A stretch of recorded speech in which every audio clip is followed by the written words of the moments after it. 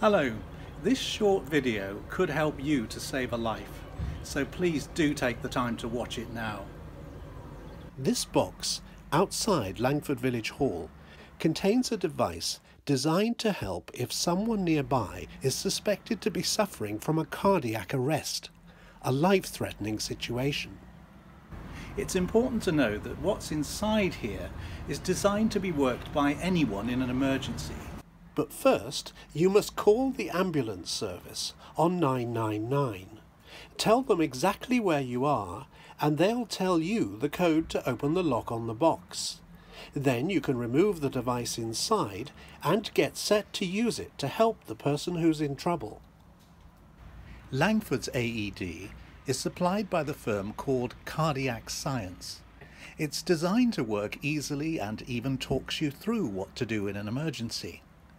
What follows now is the firm's video instructions on what to expect and what to do. When you open the G5, you'll immediately hear Make sure emergency services are called now. Begin by exposing patient's bare chest. Remove white square package from lid of AED.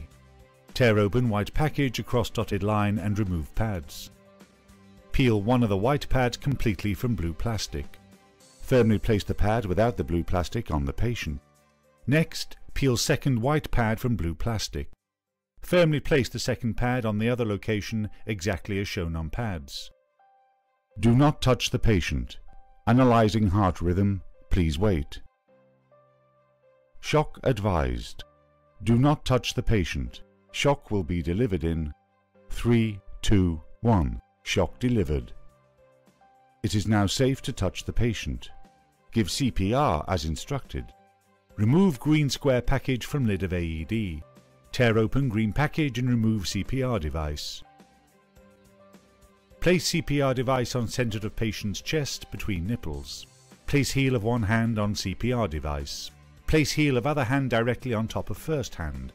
Lean over patient with elbows straight. Start CPR. Press, press, press, press, press, press, press. Press harder and fully release. Give breath. Give breath.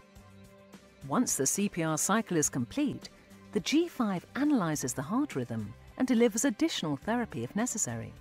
With a combination of advanced features you won't find in other AEDs, the PowerHeart G5 can help professional and first-time rescuers make the difference between life and death.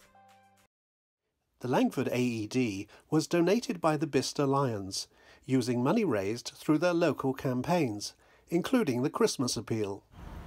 So please don't forget, this life-saving device is right here at the centre of our community and just outside the Langford Village Community Hall. Now you know how to use it, you really could help to save a life.